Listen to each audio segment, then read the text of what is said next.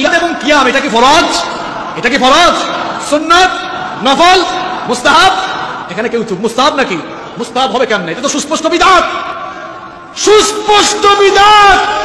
এটা জামাতের আকীদা। ভালো করে কিতাব পড়ে না তো? আন্দাজি ফতুয়া দেয়, রেসালা পড়ে। কি পড়ে? রেসালা বুঝেন? এই ছোটখাটো চিকন বই, একটা পড়ি ওয়াজ করে, ফতুয়া দেয় বাংলাদেশে। বাংলাদেশে ফতুয়া দিতে পড়াশোনা লাগে না। কাল গত কাল না তার আগের দিন এক মাহফিলে এক রাজনীতিবিদ ফতুয়া দেওয়া শুরু করছিল।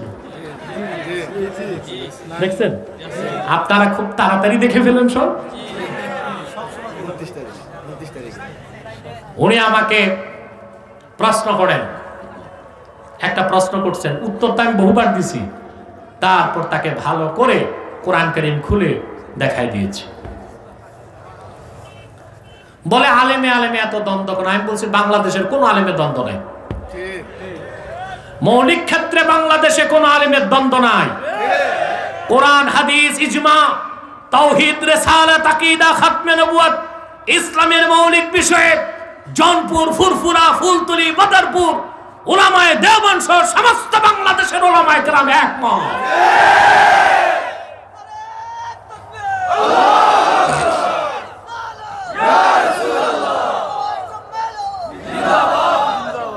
ছোটখাটো বিষয়ে দ্বন্দ্ব তো থাকতেই পারে। একটি ঘরে পাঁচটি ভাই থাকে, একমত থাকে? সমস্যা থাকে।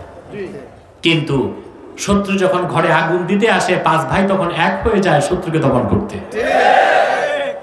মনে রেখো সংশয়বাদীরা, মনে রেখো নাস্তিক্যবাদীরা, সোনার মুসলমান ইসলামের সুমহান স্বার্থ রক্ষায়, কোরআন হাদিসের ইজ্জত রক্ষায়, বাংলাদেশের স্বাধীনতা সার্বভৌমত্ব রক্ষায়, বাংলাদেশের সমস্ত আলেমোলামা এক প্ল্যাটফর্মে এসে গিয়েছে।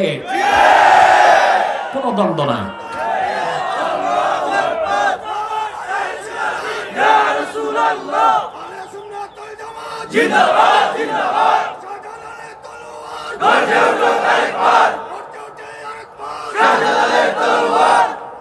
আমার ভাইরা সেজন্য বলি আমাদের আমি বলে যাচ্ছি এটা নিয়ে আবার কিছু আলেম ভাই মজা করতেছে আমার নতুন স্লোগানে।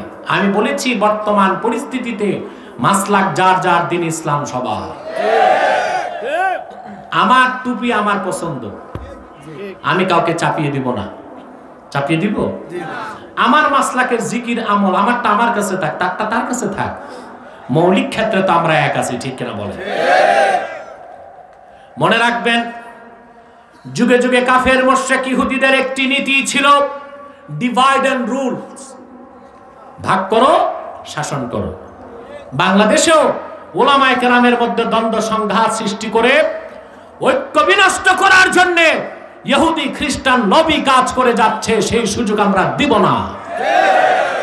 ইসলামের সুমহান স্বার্থ রক্ষায় আলেম ওলামার ইজ্জত রক্ষায় কোরআন সমস্ত মৌলিক দাবি রাষ্ট্রীয়ভাবে আদায় করার জন্য এবং আগ্রাসী অপশক্তির হাত থেকে সোনার বাংলার স্বাধীনতা রক্ষায় এদেশের ওলামার নেতৃত্বে বাংলাদেশি মুসলমান প্রয়োজনে আরেকবার রক্ত দিবে, তারপরেও ইহুদি খ্রিস্টানদের চক্রান্ত বাংলাদেশে বাস্তবায়ন হতে দেওয়া হবে না, হবে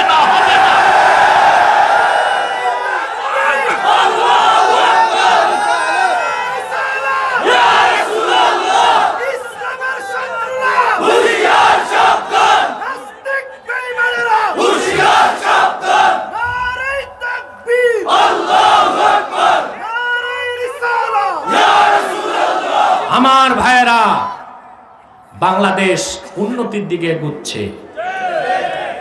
এতে অনেকের চোখে শুল বেসে গেছে। করোনার মধ্যেও বাংলাদেশের মানুষের জিডিপি বার্ষিক আয় আঠারোশো ডলার পার হয়ে গেছে। এটা আমি বলেছি এটা সরকারের কৃতিত্ব নয় এটা আল্লাহর কোরআনের বরকত। ঠিক কিনা? ওই যে কোরআনের আলোচনা হয় হক্কানি দরবারগুলোতে জিকির ফিকির হয় মিলাদ কেয়াম হয় দরুদ সালাম হয় এদেশে এত আজান আরবের বাইরে বিশ্বের কোথাও হয় না। এদেশে এত মাদ্রাসা কোরআনের তেলাওয়াত আরবের বাইরে কোথাও হয় না। আল্লাহ আকাশ ও জমিনের রহমত বরকতের দরজাগুলো খুলে দিছে। আমাদের জিডিপি চলে গেছে আঠারোশো ডলার পার হয়ে গেছে।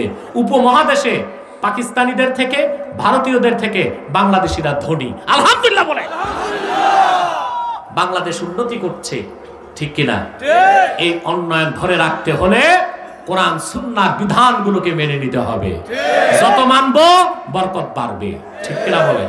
আর বাংলাদেশের সবচেয়ে বড় শত্রু হচ্ছে সংশয়বাদী নৈরাজ্যবাদী নাস্তিক বুদ্ধিজীবীরা। ওদের একটাই মিশন কীভাবে ওয়াজ মাহফিল বন্ধ করা যায়?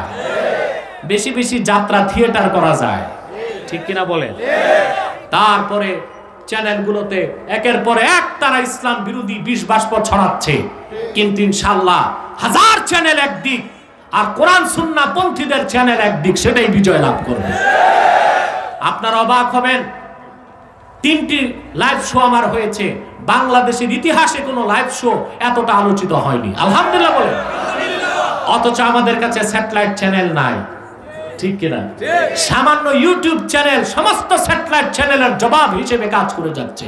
আলহামদুলিল্লাহ বলেন। এটা আল্লাহর কোরআনের বরকত। এটা ইমানের শক্তি ঠিক কিনা বলেন?